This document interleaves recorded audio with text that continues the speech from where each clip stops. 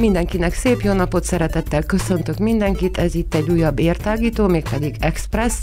és arról lesz benne szó, hogy mindenki készüljön, mert hétvégén Székelyhídon elektromos és elektronikus hulladékgyűjtés lesz, és itt ül velem a stúdióban Csorba Kinga, aki tulajdonképpen ezért az egészért vállalja a felelősséget, és hát irányítja, összegyűjti, de ő szerintem többet fog erről mesélni. Szervusz Kinga! Szia, én is köszöntök mindenkit, örülök, hogy uh, tudunk beszélgetni erről egy picit. Uh, a mi, úgymond, uh, dolgunk, feladatunk hogy Bihar megyében elektromos hulladékgyűjtést szervezünk, és minél több hulladékot összegyűjtsünk, hogy megtisztítsuk tulajdonképpen a megyénket ettől a szennyező, ezektől a szennyező anyagoktól. Tulajdonképpen ez minden évben márciusban szoktuk elkezdeni ezt a kampányt, és egész ősz végéig szokott tartani, ilyenkor településről településre járunk, és ilyen hulladékgyűjtő akciókat szervezünk, és most kezdjük, tehát Székelyhíd lesz a, az első, ahol tulajdonképpen megkezdjük ezt a tevékenységünket ebben az évben, tehát szombaton, március Március 5-én, 5 segíts. 10 és 16 óra, óra között. között. Így van, tehát nem csak Székelyhídon, hanem a hozzátartozó 5 településen is, és lesz egy gyűjtőpontunk, ahogy ezt megszokták már a, a lakosok a központban, a nagy parkolóban, ahol az ilyen apróbb hulladékokat el lehet hozni és le lehet rakni, illetve lesz két hulladékgyűjtő autónk, amelyek fogják a város utcáit, illetve a hozzátartozó falvak utcáit járni, és a nagyobb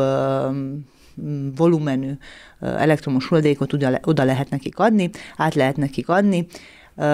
Ez az akció ugye minden évben megszervezésre kerül, tavaly is kétszer gyűjtöttünk Székelyhidon és a hozzátartozó településeken. Egyik egy akciónk volt márciusban, és egy volt szeptemberben, a két akció, elektromos hulladékgyűjtési akción közel 9 tonna elektromos hulladéktól sikerült megszabadítani a városunkat, és ez számunkra óriási nagy dolog, mert ugye ezeket mind elszállítottuk és elküldtük olyan helyekre, ahol ugye szét tudják szedni, és újra tudják hasznosítani ezeket a anyagokat, amelyek benne találhatók, és ezzel is ugye megtisztítottuk, a, nem kerültek a vizeinkbe, az erdőnkbe, illetve a földjeinket nem szennyezték. Igen, tegyük hozzá, hogy ezek bizonyos fokig veszélyes hulladékoknak minősülnek. Vannak-e olyan állandó gyűjtőpontok, és szerintem vannak például a polgármesteri hivatalban használt elemeket úgy tudom, hogy be lehet vinni, vagy pedig a neoncsöveket be lehet vinni, ezek is hozzátok tartoznak, vagy ezek külön kategória? Szóval egy kicsit mm, részletezzük, hogy miket is lehet ilyenkor, mitől is lehet ilyenkor megszabadulni? Tehát hozzánk tartozik valóban, jól tudod Csilla, tehát a, a polgármester hivatalban található két urnánk, ami egyik elektromos tehát égők és neoncsöveket lehet lerakni oda, illetve elemeket, úgyhogy ez is hozzánk tartozik.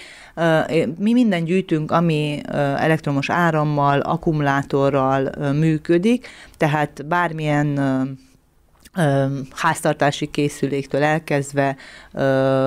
elemekig, égőkig ezt le lehet hozzánk adni, és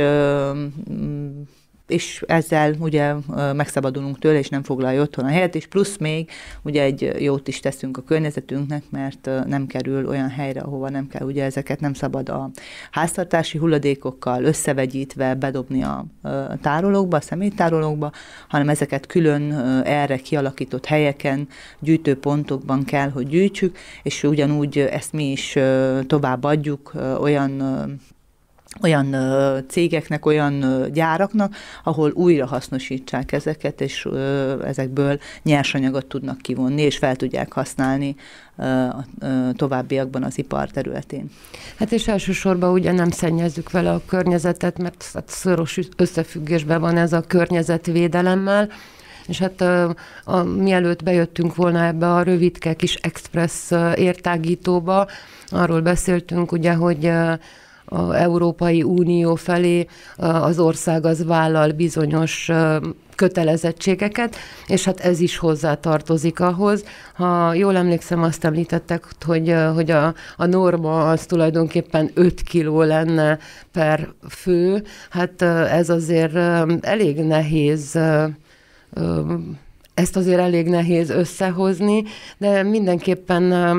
arról is beszéljünk, hogy Bihar megyében te vagy a felelős, de hát ez tulajdonképpen egy országos hálózatot fed, országosat, vagy pedig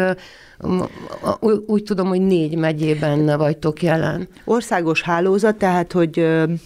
a nagy-nagy központ az Bukarestben van, és ilyen hulladékgyűjtő ö, szolgálatok úgymond ö, vannak ö, több ö, régióban. Ö, ugye nekünk a ö, mi székhelyünk tulajdonképpen Temesváron van, és a Temesvári céghez hozzátartozik négy megye, Krassó, Szörény, Arad, Bihar és Temesvár, és mindenhol, mindegyik megyében ki van alakítva egy gyűjtőközpont, egy úgynevezett Centro de Collectare, és ugye nekünk is van Bihar megyében egy ilyenünk, Nagyváradon, a Borsi úton, és mi oda szállítjuk az összegyűjtött hulladékot, amit itt településeken, cégektől, intézményektől összegyűjtünk, és ott külön kategóriákban rakjuk őket, tehát mi tulajdonképpen ott csak ideiglenesen tároljuk, és kategóriákba rendezzük, tehát ez kategória, ezt azt kell, úgy kell érteni, hogy vannak a hűtők, ami egy kategória, vannak a mosógépek, illetve az, az ilyen apróbb elektromos háztartási készülékek, ez egy másik kategória, és vannak a tévék. Ez a három kategóriát tulajdonképpen ezt mi szortírozzuk. Ebből a legveszélyesebb a hűtő és a tévé. A mosógép, illetve a kisebb háztartási készüléket, ezt úgy is hívják, hogy de se úr ne perikulászta, tehát hogy nem annyira veszélyesek, nem tartalmaznak, tartalmaznak olyan anyagokat, amelyek károsak, vagy nagyon károsak lennének a vizeinkre, illetve a földjeinkre, és tehát ezeket mi ott külön szortírozzuk, és elküldjük egy ilyen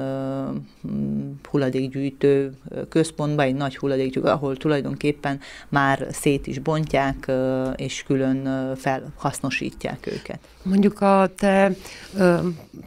látóköröthöz biztos nem tartozik ez nagyon szorosan, de mit használnak újra ezekből a Tehát tulajdonképpen, tulajdonképpen szinte mindent újra tudnak használni, például a műanyagot, a fát, tehát a tévék, ugye a régi tévék, ugye fa, fa, a fakeretesek voltak,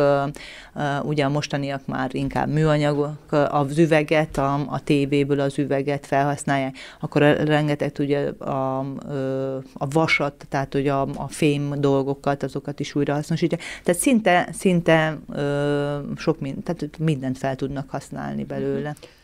Hát akkor azt mindenképpen ismételjük át, hogy mikor is lesz ez az akció. Szombaton, március 5-én, 10 és 16 óra között, és akkor ez úgy néz ki, hogy mondjuk én pénteken este kipakolhatom az utcára, hogyha egy nagyobb darabon van, vagy pedig mm, tegyem be az autó csomagtartójába, ami belefér, és akkor hozzam el ide a központba, Székelyhídon a központba, Ugye a vendéglővel szembeni nagy parkolóba szokott lenni egy gyűjtőpontotok, vagy hogy is működik ez? Igen, tehát mi azt szoktuk általában javasolni, hogy az aprósággal, hogyha nem megterhelő, akkor uh, jöjjenek el a, a központba. A nagyobb dolgokért pedig telefonáljanak, jó? Tehát, hogy az én telefonszámom rajta van a szórólapon, de el is mondhatom most is, uh, 0756 033 704, tehát ezzel, ezen a számon nyugodtan lehet hívni, akár nem csak az akció napján, hanem hamarabb is, tehát például ma volt már egy telefonhívásom a, a Kiskágyi utcáról, úgyhogy nyugodtan lehet engem hívni, és akkor a nagyobb dolgokért érte megyünk, de olyankor át, tehát hogy nyilván a kicsiket is felveszünk, tehát Kiskágyá végéről nem várom el, hogy Juliska néni 64 évesen felsétáljon a központba, tehát nyilván nem, tehát úgy is járnak az autóink a minden utcán, és meg fognak állni, hangos bemondóval hirdetik az akciót, úgyhogy lehet nekik nyugodtan inteni, hogy, vagy ha esetleg nem veszik észre, akkor lehet engem hívni, nagyon szívesen elhozunk mindent. Tehát azt nem nagyon szoktuk javasolni, hogy rakják ki, az az igazság, hogy jártunk már úgy, hogy kirakták, és aztán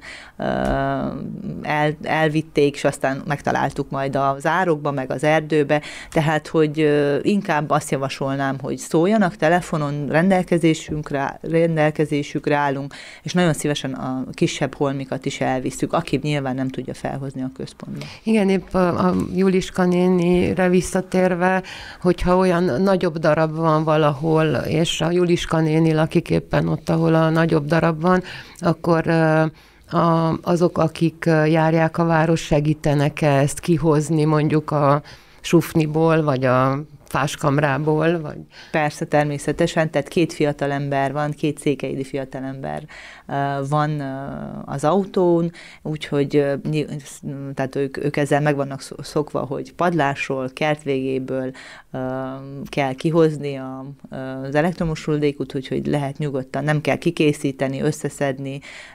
ha nagyobb dologról van szó, csak megmutatni nekik, hogy hol van, és ők nagyon szívesen ez a dolgunk, ezért vagyunk, úgyhogy mi nagyon szívesen elhozzuk és készenlítjük. Hát én azt hiszem, hogy mindent elmondtunk, amit tudni kell, de hogyha valakinek van kérdése, akkor keressen bennünket mondjuk a Facebookon, vagy mi már a rádió jelen vagyunk Instagramon, Spotify-on, ezt az adást pedig YouTube csatornánkon is meghallgathatjátok, és ne feledjetek el kattintani érhangja.ro per rádió. Kingának nagyon szépen köszönöm a sok-sok információt, és azt, hogy ránk szánta az idejét, és akkor még egyszer így a műsor végére, szombaton, Székelyhidon, március 5-én, 2022-ben se feledjük el, 10 és 16 óra között a főtéren a vendéglővel szembeni nagy parkolóba mindenki megszabadulhat elektromos és elektronikus hulladékától, és ezzel nagyon-nagyon jót tesz a környezetének, ezzel hozzájárul ahhoz, hogy egészségesebb környezetben éljünk. Köszönöm, Kinga. Én köszönöm a lehetőséget a hallgatóknak pedig szép napot, Rupácsics Judit Csillát hallottátok.